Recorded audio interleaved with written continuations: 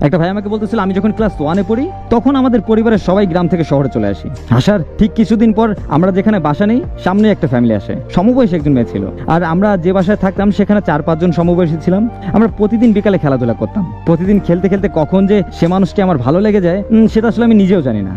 তাকে দূর থেকে দেখতে খুব ভালো লাগতো।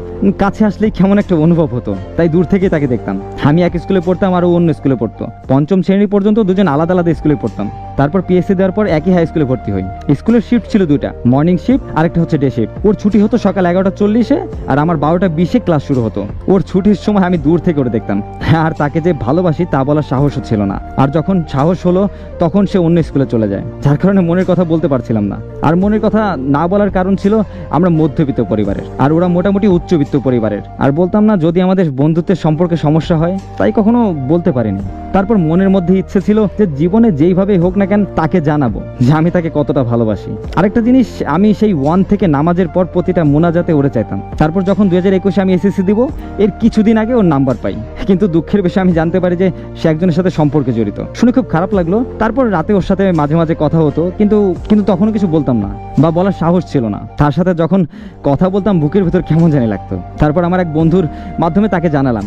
কিন্তু সে বিশ্বাসই করতে পারছিল না। সে মনে করে আমি নাকি ফাজলামি করতেছি। সে একদিন আমাকে দেখার পর জিজ্ঞাসা করেছিল যে, আমার বন্ধু যা বলছে সেটা কি সত্যি? তখন আমি বলছিলাম হ্যাঁ সত্যি। এভাবে আস্তে আস্তে তার সাথে ফেসবুকে কথা হয়। সে অচেনা হয়ে কথা বলতে চায়, কিন্তু কোনো এক পর্যায়ে গিয়ে আমি বুঝতে পারি সে আমার প্রিয় মানুষ। সে জানতে চায়, আমি কাকে ভালোবাসি?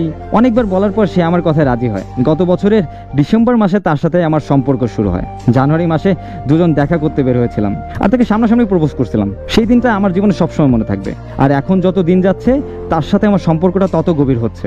আর সাথে সাথে তাকে হারানোর ভয়টাও বেড়ে যাচ্ছে, কারণ আমরা সমবয়সী। আবার আমি পরিবারের বড় ছেলে। পরিবারের অনেকটা দায়িত্ব আমার কাঁধে, আর আমি এখন ডিপ্লোমা পড়তেছি প্রথম বর্ষে। আমার ডিপ্লোমা শেষ করতে আরও চার বছরের বেশি সময় লাগবে। এখন আমি কি করতে পারি? আমি চাই না তাকে হারাতে। তাকে আমার জীবন সঙ্গিনী হিসেবে পেতে চাই। কিন্তু তার পরিবার, বিশেষ করে ওর বাবা, মনে হয় না আমার সাথে ওর বিয়ে দেবে। আবার এইদিকে ওই হারাম সম্পর্কটাও রাখতে চাচ্ছি না। কিন্তু তাকে ছাড়া কিছু চিন্তাও করতে পারতেছে না। কারণ তাকে অনেক বেশি ভালোবাসি। আমরা কি পরিবারকে না জানিয়ে বিয়ে করে রাখব, নাকি ভাগ্যের উপরে ছেড়ে দেবো? এইদিকে আমার আবার পরিবারের সম্পূর্ণ দায়িত্বটাও নিতে হবে। এখন আমি কি করতে পারি দয়া করে জানাবেন। ওকে ফার্স্ট অফ অল আমি এই রিলেটেড ভিডিও কখনোই আপলোড দিই না।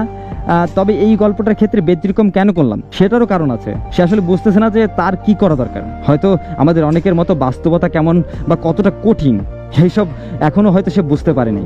যার কারণে সে আমাদের সবার কাছে একটা পরামর্শ চাচ্ছে। এখন আমি এটাও বলতে পারব না যে কপালের উপর ভরসা করে বসে থাকেন। কপালে থাকার জন্য কিন্তু কষ্ট করতে হয়, কাজ করতে হয়। এখন আপনার জন্য খাবার সামনে রাখা আছে। আপনি হাত দিয়ে না খেয়ে বসে বসে ভাবলেন, খাবার আপনা আপনি পেটে আসুক। যদি না আসে তাহলে এই খাবার আমার কপালে নাই। তার মানে কপালে ঠিকই ছিল, কিন্তু আপনার কাজের জন্য হারাইছেন। ব্যাপারটা তো এমনই, তাই না? আর যেহেতু আপনি এই হারাম সম্পর্ক রাখতে চাচ্ছেন না, বিয়ে করতে চান, সেটা অনেক ভালো। মেয়েকে বলে দেখেন, সে কি বলে? সে যদি রাজি থাকে, আপনার জন্য সবকিছু করতে রাজি থাকে, তাহলে আপনার মা, বাবা যেই আপনার কাছে খুব কাছের, বা যার সাথে আপনি একটু ফ্রিলি কথা বলতে পারবেন, মন খুলে কথা বলতে পারবেন, তার সাথে একটু কথা বলেন। দেখবেন সুন্দর একটা ডিসিশন পেয়ে যাবেন। আর কমেন্ট বক্সে সবাই একটু যার যার ব্যক্তিগত মতামত জানাই দিবেন তো, তার জন্য কোন কাজগুলো করা এখন উচিত হবে? আর যার গল্প, সে প্লিজ কমেন্ট বক্সটা একটু চেক করে নেবেন ওকে